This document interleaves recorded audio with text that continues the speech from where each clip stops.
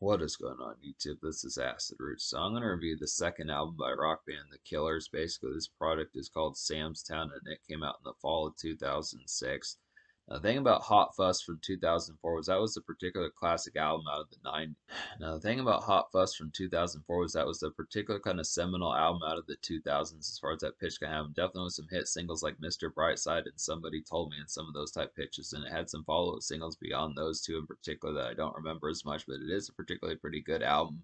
I think I remember I want to say I gave the album back in October when I reviewed it like over a 9 out of 10, so it's a pretty good pitch to get that in particular. But this album, the surprising but definitely quality thing about this particular project is it just outstrips that particular record by quite a bit, I'd have to say. Now, I would say that it's a great one-two punch to get Hot Fuss and Sam's Town kind of in the same junction, I would have to say, but it's just a particular concept that both of these are pretty excellent albums and did a lot of damage for the 2000s decade, I'd have to suppose. Now, obviously, I do feel like maybe this album doesn't have as much of like a full blown smash hit success. Like, I think possibly this album doesn't have as much of like a full blown decade topping success like Mr. Brightside something to that relative pitch, but I would have to say it's still a pretty quality record. Definitely going to get like a classic and rave score, I'd say. So, in my opinion, and I think in a lot of critic opinions, this is a pretty heralded project here, and it definitely did a lot. They definitely did not have the sophomore slump on this particular project, but two of the singles just did not chart as heavily on this particular album. I do feel like Hot Fuss was just a little bit more in terms of commercial type fare, a little bit more widespread and a little bit more reaching as far as that pitch can have. But I definitely feel like one of the singles, at least on here, when you were young, at least had some pretty heraldedness towards it that kind of got almost. I mean, it charted just about when you were young, charted just about as high as Mr. Brightside. This was kind of the concept of the rest of this record. I don't know, it was just kind of strange that this record didn't do better than it did. I mean, maybe it went platinum, something like that. I'd have to look it up, but just kind of the concept about it, I would have to say, in terms of the quality and the overall impact of this record, I feel like a lot of damage was done, but kind of just makes me question when folks look after this record in retrospect whether or not they think the Hot Fuss was just the overall better one and just the more lastability. But I definitely feel like once again this is a pretty excellent one-two punch here. I just feel like the concept maybe the singles were not quite as full-blown widespread compared to songs like Somebody Told Me, Mr. Brightside, and like the third and fourth singles, songs like all these things I've done some of those type pitches from Hot Fuss as far as that particular kind of goes. But I still look after. This with damn near. I, I mean, in my opinion, I definitely feel like this is a classic. But I just look after in terms of like the commercial type of feel. It's just too bad that this record didn't do much much more stretching as far as I kind of went because I think the critics, folks like Rolling Stone, some of those type folks in particular, really felt like this is a pretty heralded project just because it's a little bit different. I mean, this one's not as much new wave. Definitely has the outing type fare. That's another good thing about this particular project is the social fare of this project is pretty much off the meter. If you like songs like Mr. Brightside's kind of morning glaze, somebody told me it's kind of night flash and stuff like that, and then this the kind of after effects are like all these things that I've done this is kind of a malaise of just like the evening type pep as far as that particular kind of goes. I would have to say this album is just chock full of nightlife and just the social appeal of it's pretty glistening. It has say in just full of those type records. Sam's Town seems like a pretty interesting place to go as far as that pitch kind of happens. Just would have to say is really look after just within that concept, but definitely has some pretty good pep about it. I just question, like, I think the Killers continue to be like a seminal band throughout the 2010s and stuff like that, but it just makes me question, like, there were certain artists and bands that kind of, there were certain artists and bands that kind of switched their style up or had popularity shifts between, like, you know, 2010 and 2014, some of those type pitches even after usually like their 2008 2010 records some of those type pitches folks like godsmack Fall Out Boy some of those type folks just within that relative pitch just as things start as tides started to shift in like the 2010s it's going to be interesting to see what happened with the killers within that relative pitch. We'll just have to see about that. But I definitely think this is a pretty quality record here. So we'll go ahead and talk about the singles. Basically the first single is when we were the first single is When You Were Young. And this is definitely like a stellar glaze kind of bar hopping evening life of a song I'd have to say in particular. It's like a good vanilla outing sequel to Somebody Told Me I'd have to say. And it's kind of like a blend between Mr. Brightside and Somebody Told Me. It has like the When You Were Young has the particular pep of Mr. Brightside, but it also has the nighttime type glaze that Somebody Told Me. So it's a pretty good pitch to kind of get that one in particular. Just some real, this is a real emphatic rock single right here, I'd have to say in particular. And the thing about it on top of that is this, it was a pretty, the thing about it on top of that was just the fact that it was a pretty big commercial smash as far as that pitch kind of goes along with it. Also, just it charted in like the top 15 in the Billboard 100. Mr. Brightside was like a top 10 single, so this was on par with that particular one as far as that pitch kind of goes. It's a real nice emphatic one, but it's just too bad that the rest of the singles didn't chart as heavily as far as that pitch kind of happened with it. But I think there were at least rock chart hits as far as that particular kind of goes. Bones and For Reasons Unknown didn't really chart that heavily, but at least Read My Mind was like a top 70 single as far as that pitch kind of happens. But basically, Bones is the second single. This is a real nice highlighted one. This is like a good blue collar at work.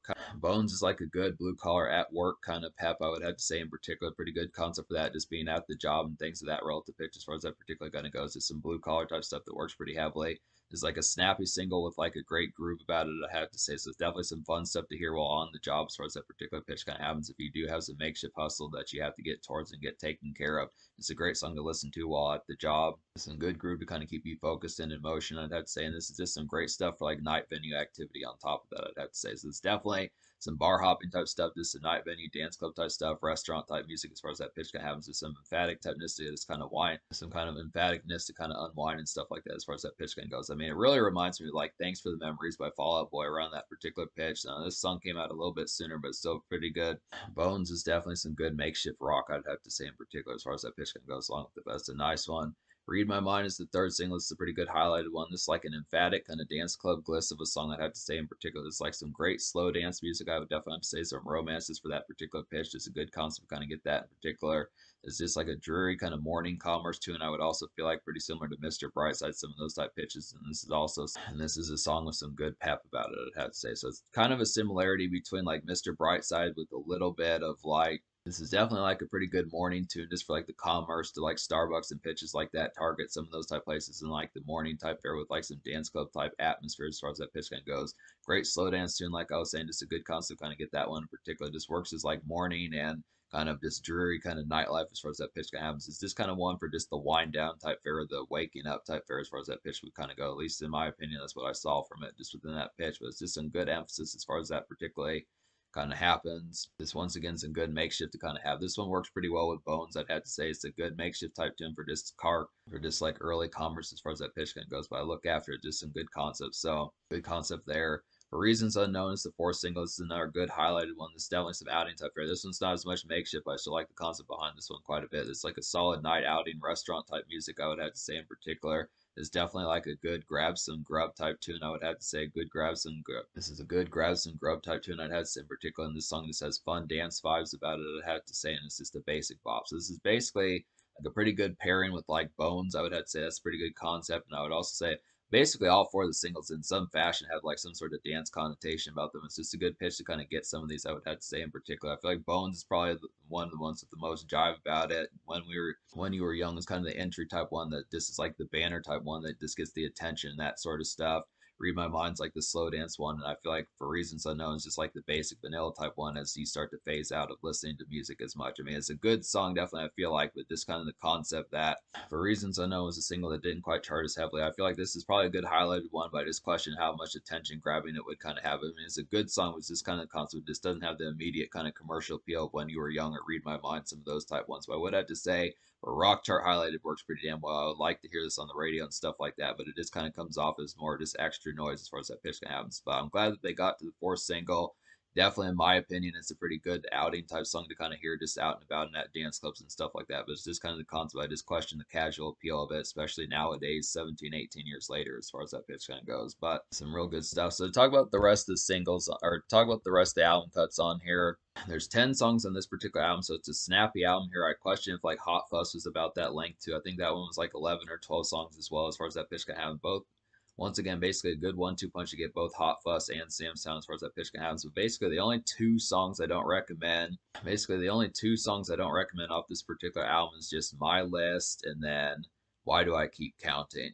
So talk about those real quick, basically my list is just kind of like a ballad, a down tempo ballad type song that just doesn't really pull off the vibes that well. It would have been interesting if they would have had like a vibe they could have pulled off like the Mr. Brightside type vibes a little bit better because that was like somewhat of like a mid down tempo type song, and then, and then just something with like all these things that I've done some of those type pitches that's just a little bit slower. And then there's like a song that's like called something Don't Forget to Smile or something like that. Don't Forget to Smile or something like that. Just kind of a pitch of like a more my list just didn't pull off the vibes for like the captivating kind of blue collar down tempo type song as, as far as that pitch kind of particularly happens with it. Just kind of a just kind of an unnoteworthy one. And then why do I keep counting was just kind of an awkward type one. This is really like the only real kind of awkward and just unaffable type one on here. I'd have to say in particular, this was just kind of one that just kind of had like an awkward kind of trajectory and just stuff like that. Just the arrangements and the instrumentation about it were just not quite as coded and quite as like, we're just not quite as well coded and synchronized as far as that particular pitch kind of has with it. But that's just the basic concept. So really only two songs I didn't recommend out of 10 on here. This album's going to get a 10 out of 10. Like I was saying, it's a pretty highlight type pitch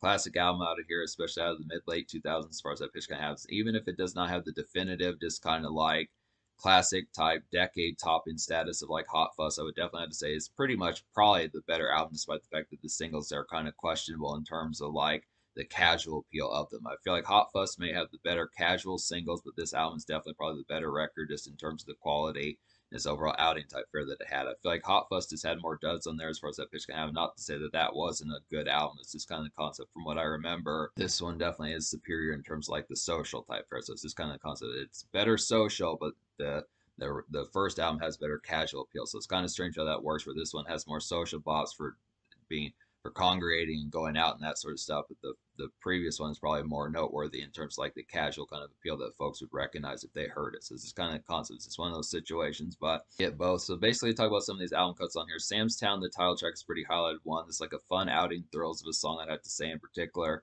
The song has commercial packaging. I would definitely feel like this probably could have been a rock chart. The song probably could have charted on like the rock charts as far as that pitch of happens. This is like a good dance hit, I would have to say, and it goes well with Bones. I would definitely feel like Bones and for reasons unknown, I would definitely have to say it's a pretty catchy overall song, this in particular. So this is a pretty highlighted one. It's a basic kind of album cut, not basic in terms of quality, but just the concept of having an extra kind of, just the concept of having some basic kind of extra out, just the concept of having some basic kind of extra outing fare as far as that pitch kind of happens, especially for the dance floor as far as that particularly kind of goes. That's a nice one.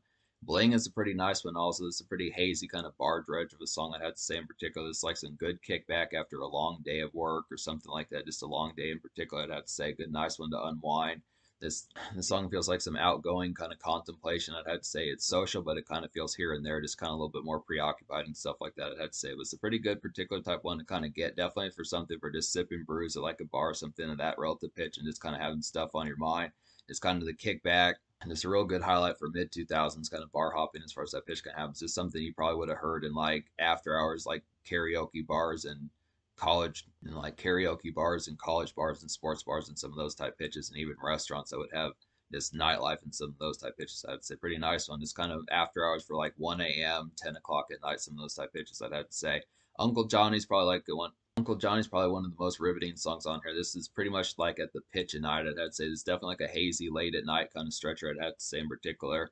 There's definitely some fun evening times for like some demon time activity. I would have to say it's definitely something that just feels like you woke up at like seven o'clock p.m., went straight to the bar, some of those type pitches, or went right to the dance club, some of those type things. There's some emphatic typeness to just kind of have some nightlife, and this is just an emphatic and kind of thrilling song. I'd have to say overall, so it's just a pretty nice one. There's some real great stuff for some demon time type stuff as far as that pitch can happen. So this is pretty much. I really like the riffage on this particular song. It really feels like an emphatic type one out of the mid 2000s as far as that pitch can happen. It's just some great stuff. The band work, instrumentation on this particular song is pretty great. It's very catching and immediate and just has that appeal, just like some social type fare just for nightlife as far as that particular pitch can go. So it's just some good outing type stuff. And then this river is wild. It's a pretty nice one as well. It's like an exhilarating kind of night pep for getting ready to step out. I'd have to say in particular, it's just a real nice one. This this feels like a just woke up at 8 p.m. kind of cheer of a song. I'd have to say. So if you're waking up at nightlife, if you do have like work at like the graveyard shift, some of those type peps, this as far as that situation, this as far as that particular situation kind of goes, this is a real nice one. Now this one's kind of more of just like getting ready to get to the place as far as more so than actually being there. This is not as much like a residential type album, but I do feel like there's definitely some good moments for the nightlife as far as just like socializing, just kind of being at restaurants and sports bars and stuff like that as far as that pitch of goes in places just you know places to get snackage and some of those type pitches and dance clubs, some of that type stuff. But I just look after it. This one is just basically like a primer type song to kind of get you ready for just getting ready to step out and get to like the gig and some of those type pitches as far as really having some of those times. I mean, it could even be, it could probably even be for like a house party, some of those type pets. But I really feel like a lot of this is just more socializing, just out and about as far as that pitch can go. So I really like the concept behind it. Just a great taste of like some social type appeal as far as that pitch of goes. But so yeah, this is a pretty social album. This album's to get a 10 out of 10, like I was saying. The social score is to definitely get a 10 out of 10 also just because I look after it. There's just a lot of good vivid type appeal type songs on here. You've got album cuts that have that social appeal like Sam's Town. You've got some album cuts that have some of that social nightlife appeal like Sam's Town, Bling, and Uncle Jonny. I would have to say all four of the singles have some sort of dance club type appeal. I'd have to say in particular. So it's definitely a pretty good flash as far as that particular pitch kind of goes along with it, just being able to have some of that night pizzazz.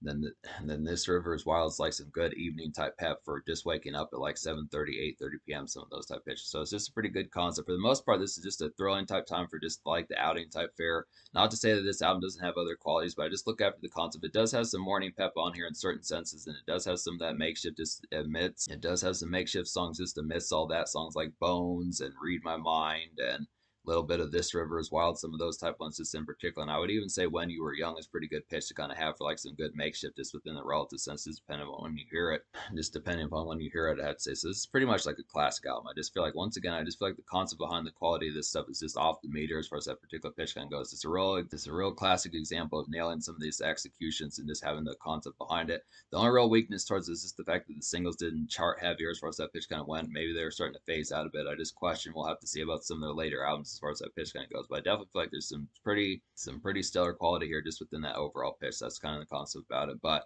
in terms of future, in terms of future, like the Killers have at least dropped an album in 2021, so they'll probably be back at some point. In particular, they do have another good several projects. I'm gonna have to get to. I'm just gonna go through some of these projects and just see how they're kind of just kind of see how some of their chart trajectory kind of happened and stuff. Because I do feel like this these these first albums are pretty damn excellent, I have to say. So it'd be interesting to kind of see how they charted because I know they had they continued to have popularity as far as that pitch kind of happened. Should definitely be interesting to kind of see some of these type ones, but hopefully they just didn't fall off in like the 2010s and the mid 2010s as far as that pitch kind of happened because rock kind of went through some shifts as far as that pitch kind of particularly happened. But I would have to say there's some excellent stuff here. Classic mid 2000s rock album definitely has some pretty sheer nightlife, and I do highly recommend this.